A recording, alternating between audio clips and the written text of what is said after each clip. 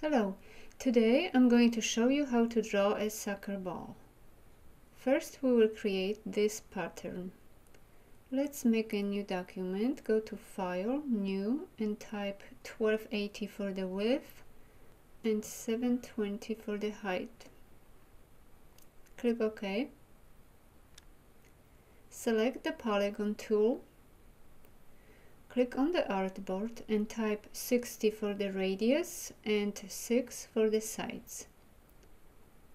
Select the rotate tool, press enter and type 30 for the angle. Click OK. Using the selection tool, let's move this polygon to the top left corner of the artboard.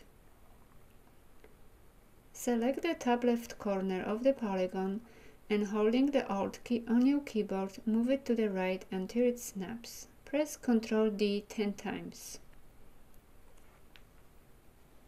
Let's make another row below.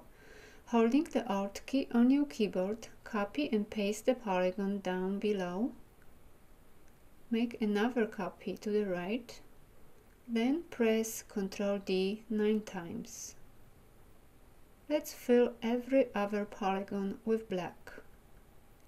Select the polygon and change the fill color to black. And repeat.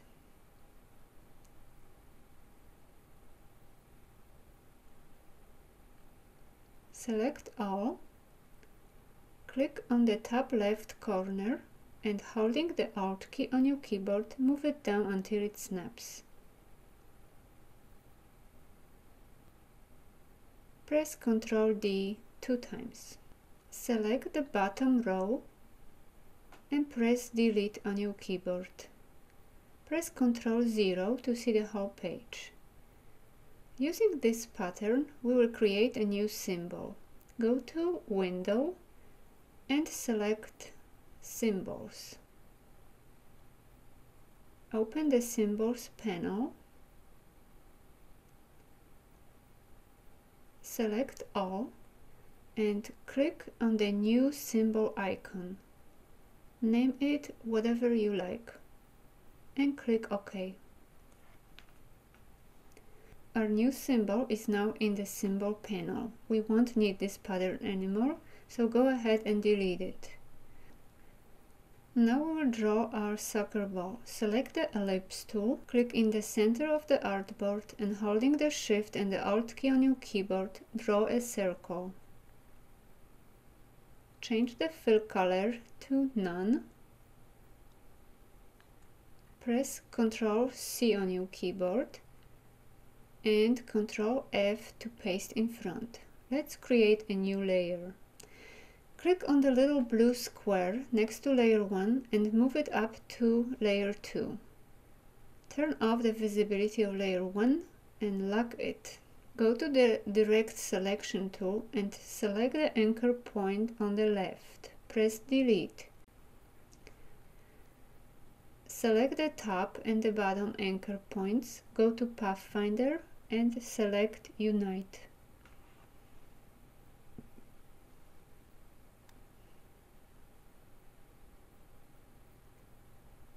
Go to Effect, 3D and choose Revolve.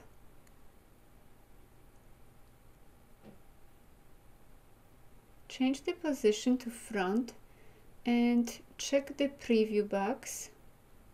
Then select the map art and choose the surface 5 of 5. Go to symbol and find the symbol we've created before.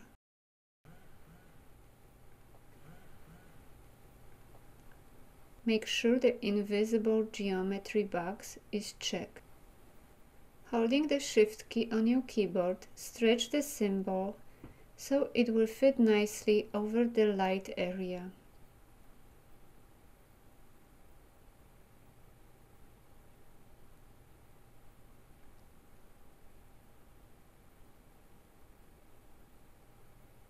Click OK